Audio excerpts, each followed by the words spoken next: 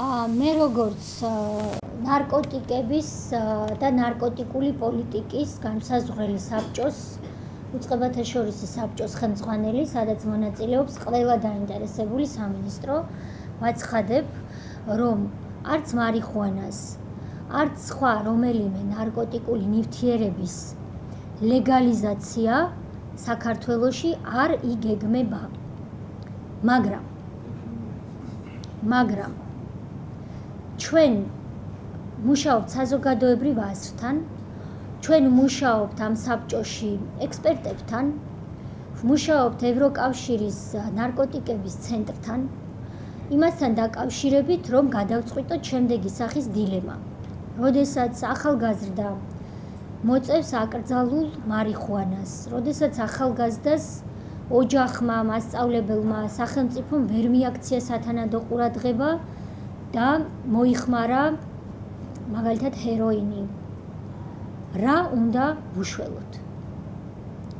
თუ ესეთი ახალგაზრდა არის მხოლოდ მომხმარებელი და გაუბედურებული ადამიანი.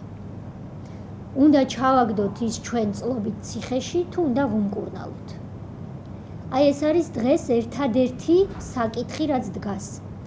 ნარკოტიკი, მათ შორის მარიხუანა, როგორც ეძახიან სუბუქი ნარკოტიკები, ყველა ტიპის, მათ შორის მარიხუანა.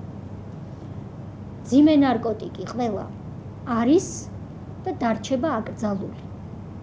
ყველა ვინც ამას მოიხმარს, იქნება სამართალ დამრღვევი, მაგრამ სამართალ დარღვევაც არის და სამართალ დარღვევაც.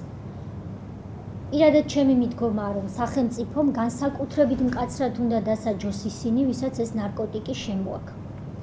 განსაკუთრებით უნდა დასაჯოს ისინი, ვინც ჩუმად მარიხუანას თესავს და ზრდის, რომ გაყიდოს.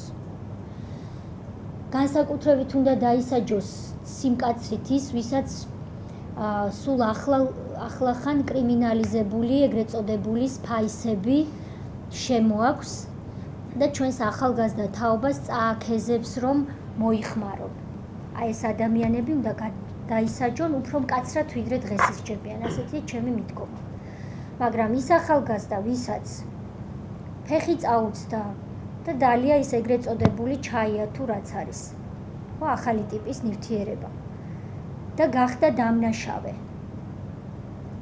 მას რა ვუშველოთ რომ ის სასწრაფოდ გამოსწორდეს იმ კურნალოს და არ დაიღუპოს და არ გამოგვეცალოს საბოლოოდ ხელიდან. ჩვენ გვაქვს ძალიან დიდი პრობლემა დემოგრაფიის ჩვენ გვაქვს ძალიან პატარა ქვეყანა, ცირერიცხოვანი ქვეყანა და მომავალ თაობებს უფრო სხვა რაღაცა უნდა შევთავაზოთ, ვიდრე მხოლოდ ციხეა.